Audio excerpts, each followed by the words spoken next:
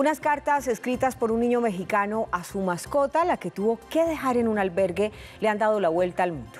En Teleantioquia Noticias nos pusimos en la tarea de buscar a los protagonistas de este drama que el tiempo dirá si tiene un final feliz. Esta es la historia. El pasado primero de marzo, cuando en América nadie pensaba en pandemia, alguien llamó a la puerta del albergue Pergatusó, en el municipio Nicolás Romero, Estado de México. La asistente que atendió no encontró a una persona. Había una caja con esta figura. Y en el fondo, una carta y varias monedas. Te dejo a Simón. Es mi perro. No quiero que mi papá le pegue. Llora mucho porque no hay comida.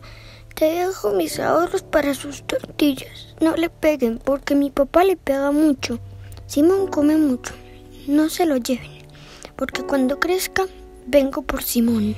Desde entonces, Simón fue un huésped de honor y comenzó la búsqueda de su dueño. Mi hermana se preocupa y empieza a través de las redes sociales y de sus voluntarios buscar el paradero de, del niño, porque hasta ese momento no sabíamos cómo se llamaba. Pasaron los días y aún sin saber nada del remitente, apareció en la puerta del albergue otra carta. Simón, te extraño. Me dijeron que te llevaran al veterinario. Te dejo tres pesos para tortilla. Y luego una más, en medio de la pandemia, la tercera carta. No puedo verte por el COVID. Mi papá no me deja salir. Te mando tu comida y tres pesos. Mi papá no tiene trabajo. Pórtate bien, te extraño. Entonces los medios se enteraron de la historia y el mundo entero quiso saber sobre el remitente de estas cartas, que justamente hace una semana trajo personalmente un cuarto mensaje.